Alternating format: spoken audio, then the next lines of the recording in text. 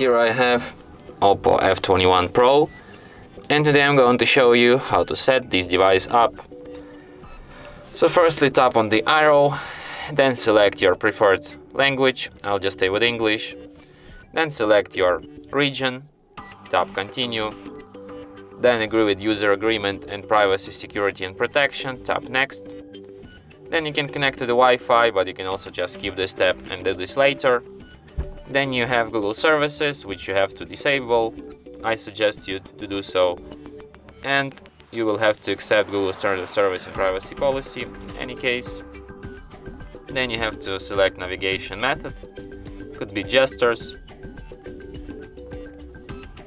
Uh, and then you can like uh, set up unlock method but you can also skip this step for now and do this later in settings oh what am I doing later please or you can just don't do this at all like if you want to set up lock screen set it if you don't want you don't need to then you can set, enable auto update overnight feature if you want to and your device is ready to be used.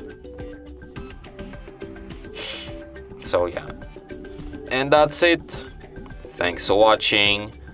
If you find this tutorial useful, don't forget to hit that like button and subscribe to our channel.